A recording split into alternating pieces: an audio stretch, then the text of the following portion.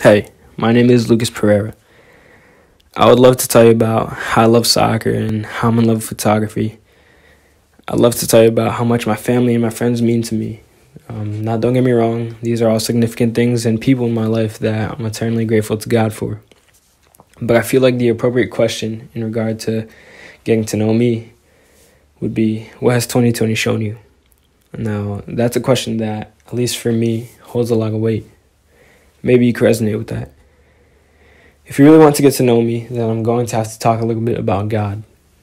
I'm just realizing that in 2020, He's shown me I'm only human. It's been a year full of negative circumstances, not just for me, but for a lot of people. It would be easy for me to just resent this year completely and say, peace out. The thing is, though, if I were to do that, I'd be forgetting something crucial. I'd forget that all the negative circumstances I've gone through this year have a flip side. Well, what's the flip side? What right now may look like unfavorable circumstances is actually God at work. I've battled with trusting God at work this entire year, but like I said, I'm only human.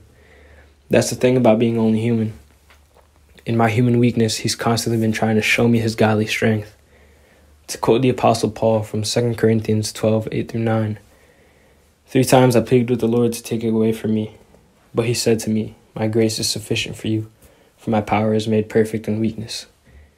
Still learning exactly what that means, but faith is a journey, not a guilt trip.